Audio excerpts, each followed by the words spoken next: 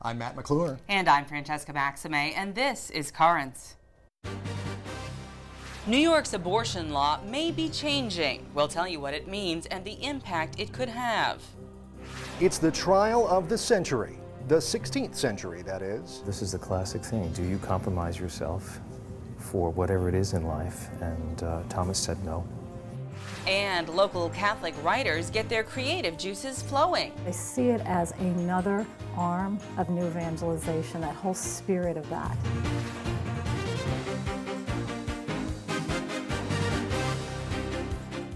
Good evening. Thanks so much for joining us.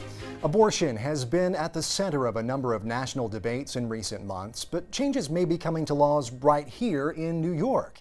And according to the church, not for the better. The New York State Catholic Conference, the public policy voice for the church of the state, says a proposal introduced in the assembly last week is a quote, radical abortion bill. The Reproductive Health Act matches the bill already in the state Senate and has the support of Governor Paterson. Well, we wanted to find out more, so I spoke by phone yesterday with the New York State Catholic Conference Director of Pro Life Activities, Kathleen Gallagher. Well, Kathleen, thank you so much for joining us here on Currents today. We really appreciate your time. Good to be here. Well, we're talking today about the Reproductive Health Act. Tell us, if you will, first of all, exactly what that act would do. Well, this is a bill that was originally proposed by former Governor Spitzer as part of his platform in 2007, um, which would radically alter abortion policy in New York State. Um, in very extreme ways. Uh, it would, uh, first of all, allow abortion through all nine months of pregnancy. Right now, on the books in New York, abortion is only legal through 24 weeks of pregnancy. And while that's not enforceable right now because of Supreme Court decisions, should it ever become enforceable, the Reproductive Health Act would wipe that out and say all abortions through the third trimester of pregnancy would be legal and available in New York. Right. Um, so that's one thing that it does. Uh, it does a lot of really awful things. Um, it basically elevates abortion to a fundamental right in New York State, right alongside the right to vote. It's fundamental, it's untouchable. Even the U.S. Supreme Court doesn't say that about abortion. The U.S. Supreme Court says abortion can be regulated. We can have reasonable regulations on abortion, things like parental notification for minors' abortions. We can restrict funding of abortion by state taxpayers. If the Reproductive Health Act were to pass, we could have no reasonable regulation of abortion. It would be untouchable as a fundamental right, and nobody could discriminate against that fundamental right. It would almost be illegal to be pro life. Oh. Well, what is the status of this bill right now in the state legislature? Uh, well, it's been introduced in both houses of the legislature for the first time ever. Um, since 2007, when Eliot Spitzer first uh, proposed the idea, it's only been introduced in the state Senate. Just this week, it was introduced in the state assembly by Assemblywoman Deborah Glick, a Democrat from New York City. Um, so now we have a two-house bill um, and that gives the bill some legs, so to speak. Um, that makes it uh, somewhat viable. Um, kind of sneaky, I think, that it was just introduced this week, which is the last week of the scheduled legislative session. well, one of the groups that has been stepping up in support of this bill is NARAL Pro Choice New York. Not really a big surprise there. They are a, a pro choice group. They've stepped up in support of this uh, bill. They're urging their supporters to support the bill as well. A couple of things that I'll run by you here that they've been saying and just get your response to them. Sure. Um, they said uh, that, that the bill will, for the first time in, in state law, say that a woman has a right to control her own reproductive health and will actually, you know, strengthen state law as far as uh, women making their own health decisions. I get your response to that, and also the fact that they say that three quarters of New Yorkers are in favor of this act, even after hearing arguments against it. What do you say to those two things? Um, well, first of all, to to suggest that a woman in New York State doesn't have the right to control her own body um, or her own health decisions is just laughable.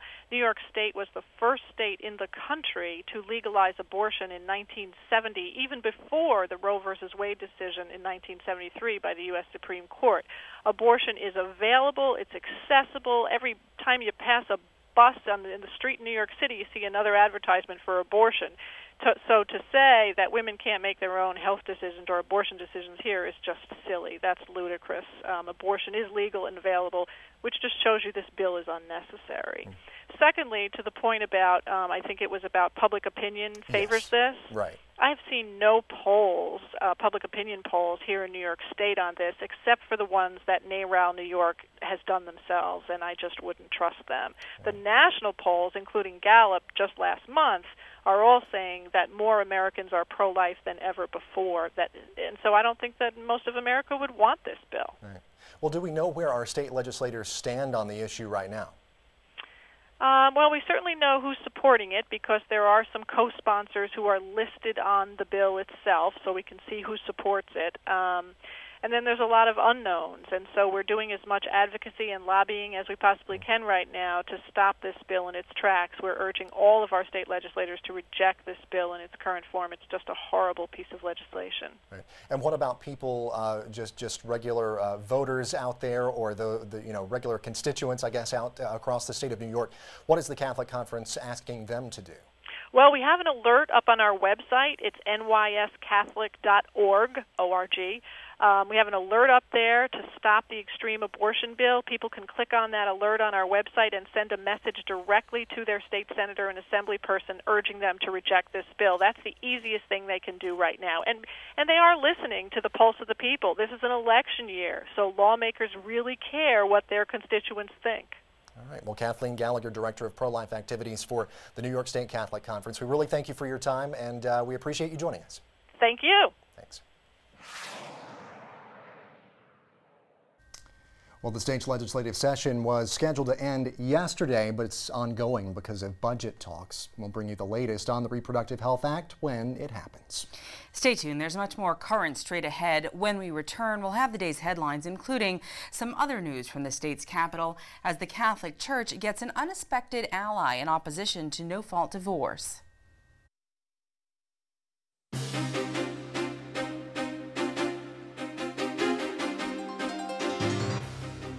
Welcome back to Currents. I'm Francesca Maxime. And I'm Matt McClure. Coming up in just a bit, a word or two about the word.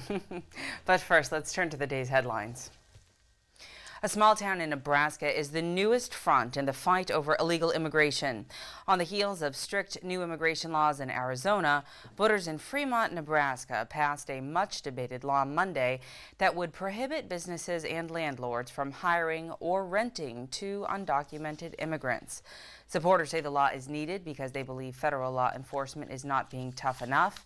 Opponents say while immigration reform is needed, individual cities should not take on the issue. They should be um, legal just like we have to be. I don't think it's right for us to just take it on. I think it should be a government wide thing. Why are we allowing illegals to be here? If there's laws against illegal and the laws need to be upheld. I think it's sad that it's divisive in our community, and I think it's sad that um, when something that is a national issue comes down to being divisive in a community. Since federal government is not doing anything people have to do something. So you think this will put it to an end? I doubt it. The American Civil Liberties Union says it will sue to stop the law from taking effect. Meantime, Catholic bishops across the U.S. criticized Arizona's new immigration law in recent weeks and called for that law and called for laws that respect the dignity of all people. New York's Catholic leaders have an unlikely ally in the fight against no fault divorce, the National Organization for Women, also known as NOW. New York is the only state in the Union that does not allow for no fault divorce, but that could change if state lawmakers pass a bill currently under consideration. The president of the New York chapter of NOW says no fault divorce would push more women and children into poverty. What no fault divorce will do is it'll say that the treatment that you got in your marriage didn't matter. It's no fault. And we believe that there is fault when there's abuse happening in situations. So we think that no fault divorce will basically legitimize and rubber stamp the bad decisions that judges are making today. And what we're saying now is that instead of the legislature working to pass no fault divorce, they should be working to hold judges accountable. There should be good laws out there to hold judges accountable, and that's what we would like to see them happen. The New York State Catholic Conference last week called the proposed law fundamentally contrary to the intended meaning and purpose of marriage. Federal judge in New Orleans today blocked a six month moratorium on deepwater drilling in the Gulf of Mexico. The ruling came a day after Louisiana Governor Bobby Jindal appeared in Baton Rouge to pray for the 11 men killed in the Deepwater Horizon oil rig explosion and those impacted by the oil leak. State representatives, senators, and clergy members also prayed at the service in Memorial Hall at the Louisiana State House. Later Monday, Jindal filed a court brief opposing the ban on deepwater drilling. The governor and other opponents say it is not needed and will economically devastate a region that is already reeling. Officials with the Obama administration said they would appeal today's ruling and said the ban is necessary so a thorough safety review can be conducted. Well, meantime, the Obama administration will extend family medical leave benefits to same sex partners this week. The Labor Department is expected to issue a ruling Wednesday that will allow gays and lesbians to take time off to take care of the uh, sick or newborn children of their partners. The New York Times reports the move is an interpretation of the 1993 Family Medical Leave Act, which allows people who work for companies with 50 or more employees to take up to 12 weeks off without pay to care for children in such situations. President Obama and Vice President Joe Biden, meantime, hosted a reception in honor of LGBT Pride Month today at the White House. A man who says he is the son of the founder of the Legionaries of Christ filed a lawsuit against the Legion in a Connecticut courtroom on Monday. Reports say Jose Raul Gonzalez Lara claims the religious order should have known that uh, Father Marcial Maciel abused children on multiple occasions. The suit seeks more than $15,000 in monetary damages, punitive damages, and what it says are all other appropriate relief. And finally, history uncovered in Rome. The earliest known icons of a few of the apostles were discovered there recently. We get details from Rome Reports. Catacombs are underground tunnels used mainly as cemeteries. Italy has 120 in total, but the Catacomb of St. Thecla contains a particularly interesting discovery. The oldest known representations of Saints Andrew, John, and Paul have been found in this catacomb. These icons set the pattern for how the apostles were represented in the following centuries. These frescoes date back to the 4th century and continue to speak to Christians and non Christians alike in the 21st century.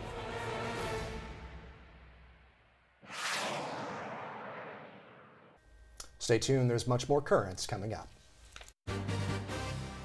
Just ahead, a story about the separation of church and state from centuries ago. He paid dearly for his loyalty to God, a, a, hero because we don't find many public servants who stand on principle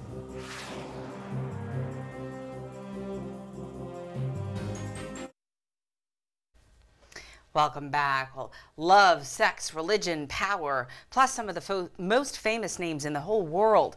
All that and more were part of the trial of the century, the 16th century, that is. It was the trial that led to the execution of Sir Thomas More, now Saint Thomas More, the patron saint of lawyers. And today is his feast day. Yeah, and he, he may best be known now as the man for all seasons. But one season in particular, the summer of 1535, was his defining moment as his trial unfolded in London. More was accused of treason for refusing to accept Henry VIII as head of the Church of England. Well, all that came to life at St. Thomas More Church in Manhattan, which recently hosted a staged reading of the trial. It is July 1st, 1535, and we are gathered here in Westminster Hall for the trial of Sir Thomas More, until recently the Chancellor of the Exchequer and the second most powerful person in the realm after His Majesty King Henry VIII. The indictment charged More with high treason under the Act of Treason concerning the King's supremacy of the English Church. I answer that there is a much greater obligation on the part of a good man and faithful subject to consult his own conscience and eternal salvation. His position as the King's Chancellor was one that was highly coveted, and uh, it was usually held by a clergy member, from what I understand. But Thomas was honored with this position because of his intelligence. This is the classic thing. Do you compromise yourself for whatever it is in life? And uh, Thomas said no. And he knew exactly what the consequences would be, knowing fully well that he would lose his head over it, literally. He was uh, uh, one of the brave Englishmen who stood up to Henry VIII, uh, and he paid dearly for his loyalty to God. a, a, hero because we don't find many public servants uh, today who stand on principle the way More did. That's one of the big issues of the church, I think, being able to stand up for what is right. And I wish more politicians today were able to do that. I come from a political family, and I'm very proud that we are able to do that. So um, I was very interested in, in this. Even though it happened almost 500 years ago, I think it's still relevant. The jury found him guilty. The one single cause is that I have been unwilling over the past years to consent to the second marriage of the king. I have played the role of Margaret, the daughter of St. Thomas More, do not torment yourself further. This is God's will. Pray to God for the salvation of my soul.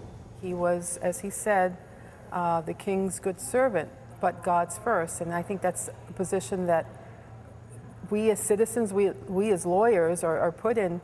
I mean, how can we be faithful to God's teachings and yet uh, uh, still be good citizens? The Catholic Lawyers Guild reinforces us because we are uh, like-minded. We talk about timely and topical subjects that come up in the legal field. We have a great deal of difficulty with uh, uh, some issues uh, uh, such as abortion and single-sex marriage and Catholic lawyers have to struggle with how they handle such matters. If, and I'm not going to be a lawyer, but if I'm going to be a good layman and a good husband and a good father, um, what better role model than Sir Thomas More. It's a wonderful exemplification of, of how to live your life and the precepts, the tenets upon which it should be based. Well, it's another great example of not just talking the talk, but walking the walk and really having principles that you are willing to, in this case, you know, give your life for. Right. And, you know, being able to stand up on those no matter what the cost, exactly. And, you know, it's it's uh, an, interesting thing because I think we see it over and over again here on Currents that you know that there are all of these different groups. And now we've seen lawyers, we've seen healthcare workers in the past, and others who combine you know their faith and their profession. They're doing something that they love in their profession, but they're also doing it with maybe a little bit of a different uh, perspective than other people who might not be of any particular faith or of a different faith or might not just be focused in that same direction. Exactly. I think that you never truly take off the one hat of your Catholic faith. If you're part of the Catholic Lawyers Guild, for example, yeah. he said he struggles with things like same-sex marriage or, or the abortion issue. And you can see that that's one of the things that they would as professionals and as Catholics. Yeah. And yet it's those very things that they are willing to try to balance because they want to remain professional and still true to their faith. To be like a, a walking hat rack and wear all right. kinds of hats. You know? Right. Well, stay with us. We'll be right back.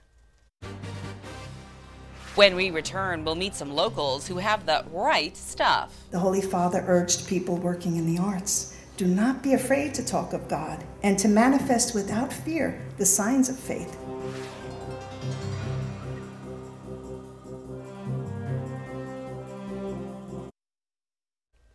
One well known book tells us that in the beginning was the Word. Well, tonight we're going to end with the Word, specifically a word or two from Catholic writers. They gathered out at Immaculate Conception Seminary in Huntington, Long Island last weekend for a conference on the Word made flesh. And along the way, they offered us some words of wisdom about what it means to write about the Church today in all forms of media. This is a, a, new adventure, this conference, and there's a lot of quality writing coming out these days. On Long Island, in Brooklyn and Queens, we have many people who are engaged in this area and our Catholic newspapers, okay, whether it be the Tablet or the Long Island Catholic, are excelling in these areas and trying to educate people, to share with people, and to get them more involved in their faith. Probably the most exciting piece about today is that I see it as another arm of new evangelization, that whole spirit of that. I see it as aiding every and all causes in the church. And what we want to do is be able to assist people in making a huge impact with their writing. The Holy Father urged people working in the arts do not be afraid to talk of God and to manifest without fear the signs of faith, letting the light of Christ shine in the presence of people today. At this gathering, we speak of the might of the pen, which is indeed greater than that of the sword. I haven't met too many Catholic writers who don't really love the church. I mean, there are one or two I kind of suspect, but, but for the most part, I, the Catholic writers I know are all people who are passionately uh, wanting to promote and serve the church and to um, correct a lot of the misperceptions that are out there about the church. I think with a lot of the Catholic writers now are, are, are tired of uh, letting the media uh, explain what the Catholic Church is all about. But and then these uh, these writers, these people that are here today. I mean, mothers and fathers and just regular regular people are just you know they're tired of it and they're just picking up on their computers and and just. Uh, writing something, and there is a following that is growing um, in this in this field. Accessibility of uh, new media has just caused an explosion. There are so many of us raising our children and working jobs and all sorts of other things who can't be full-time writers. And yet you can, if you have a, a, computer in your home, you can podcast, you can blog, you can write articles for online magazines, and you may not make very much, may make nothing at all, but you can have an impact and really connect with other writers and other Catholics. It's extraordinary the effect that you can have from your home. I see something really exciting happening in Catholic media. I, I, think that the Catholic Church has been really slow to, to jump with it, but now between the Pope telling priests to get on the blogs and um, something like Currents and Net New York coming in and doing a daily news show, um, and Boston TV doing what it's doing, these are really dynamic and exciting things that are happening in media. In the beginning was the Word, and the Word was with God and the Word was God, and the Word became flesh and dwelt among us. The purpose of all the words we as individuals, the words we speak and write, is to show forth the splendor of that one great Word who is Christ. New media, such a big part of our lives, and those are the ones who make it happen in the Catholic world right there. Among them, of course, you saw Elizabeth Scalia, who's uh, the anchoress, uh, the author of the Anchoress blog, very, very well known. You had the, the uh, spokesman there for the Catholic League as well, and just a lot of people who really their faces you don't see, but their words you might read quite often. Mm-hmm. Well, it's like she was saying in the piece, you can do it right from your home and it gets delivered right to people's homes right. most often. And so you don't have to go out there and buy a book. This is the new media that we're talking about. Right. Obviously, they were representing other media, printed media, right, newspapers, well. magazines, that kind of thing. But the idea that, uh, you know, you can have your voice be heard and share that and then find other folks that are like-minded yeah. is, is terrific. And yeah. it's all instantaneous, really. It's so cool. It the new media, you know, takes out the middleman. You don't have to have the thing printed. It just, you type yep. it, it's there, and people see it and read it. It's, it's cool. And you can tweet it. we tweet, and yes, we Facebook too. well, that is it for tonight. Coming up tomorrow, he was one of the most controversial and famous celebrities in the world, a man who helped define the last century, but he was also a devout Catholic. Who was he? Well, you might be surprised. I will tell you all about them. All right, but in the meantime, remember, you can always catch us online. We're over at currentsny.net. Check out us check us out on Facebook as well. Until next time, I'm Matt McClure. And I'm Francesca Maxime. Thank you so much for joining us. Have a great night.